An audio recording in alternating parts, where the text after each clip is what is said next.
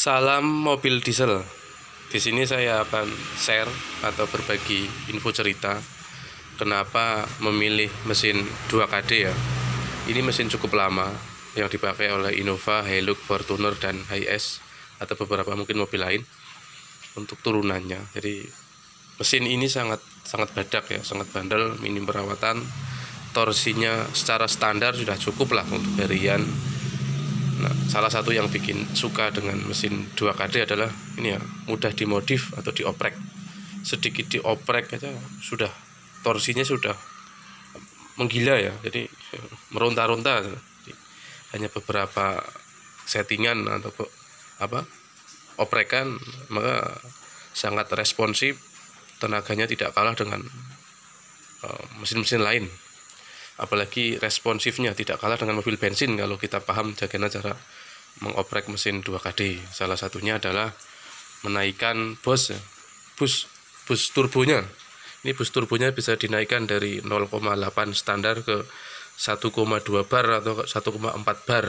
Ada yang 1,5 tapi rekomendasi 1,2 atau 1,4 bar. Itu satu untuk oprek mesin 2KD yang kedua ini ya injektor injektornya ini volumenya di di upgrade.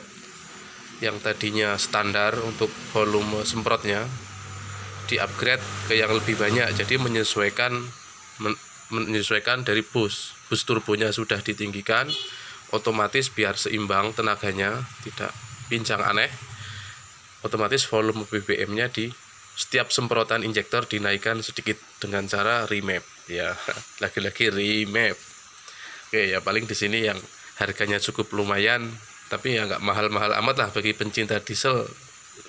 Rela lah sekitar 2,5 juta untuk remap ya. Menaikkan salah satunya tujuan remap adalah memperbanyak volume semprot setiap injektor nanti menyesuaikan dari bus turbo yang kita setting.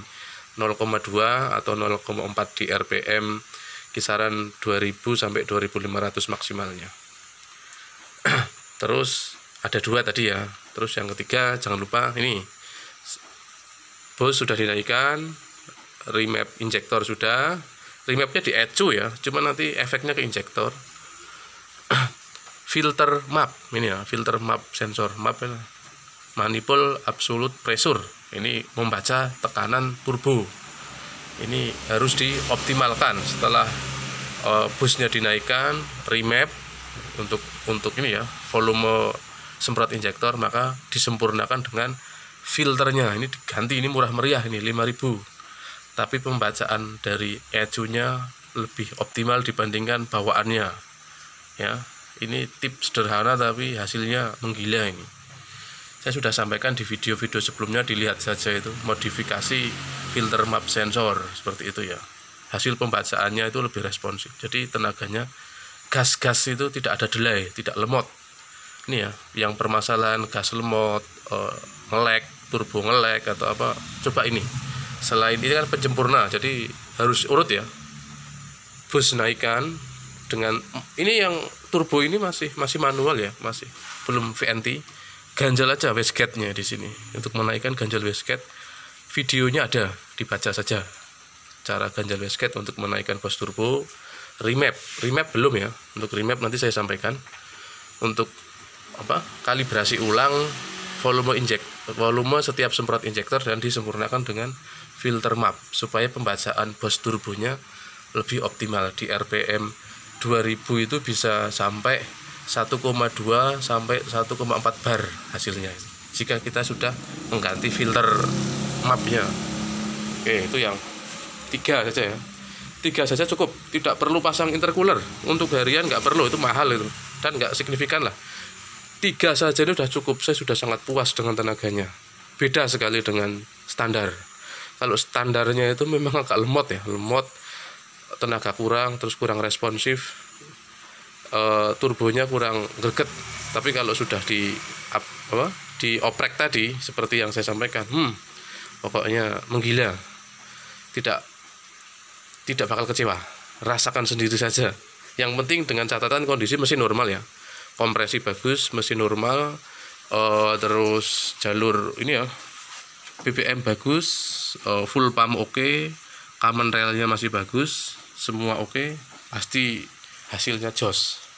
Seperti itu ya ini untuk info remap untuk apa uh, menaikkan upgrade volume injektor injektornya saya ada rekomendasi ya khususnya di Pulau Jawa ada di Surakarta Solo Semarang Ungaran dan Yogyakarta. Uh, bisa menggunakan ini ya jasa remapnya. Nih. Terima kasih Esa Diesel telah membantu remap hasilnya. Tenaganya ngisi terus. Saya bukan promosi ini rekomendasi jujur ya. Ya salam Esa Diesel gitu aja. Jadi teman-teman yang punya mesin 2KD jangan lupa ya untuk harian ini ini oprek harian saja nggak usah. Drag dan macam-macam sudah sangat puas. Cuman efeknya dikit. BBM lebih boros dikit sekali. Dikit tapi tenaganya torsinya luar biasa. Perbandingannya paling yang tadinya 1 liter bisa 13 atau 12 ya mungkin perbedaannya kecil lah 11 sekian atau 12 sekian tergantung kita bawanya ada perbedaan dikit tapi tidak signifikan. Seperti itu ya. Tapi torsi tenaganya wow jadi yang modal dibutuhkan yang cukup banyak remapnya itu sekitar 2,5 juta. Yang lainnya receh lah receh ini 5000 ini ganjel turbo ganjel apa wasket turbo ring 1000 atau 2000 itu aja. Oke? Okay. oh, mungkin segitu share tentang bagaimana oprek mesin 2KD ya yang bisa saya sampaikan. Untuk pengguna harian itu sangat puas. Terima kasih pencinta 2KD bisa mampir ya. Kita share-share sharing-sharing bareng di komentar. Saya tunggu ya. Salam diesel mania Indonesia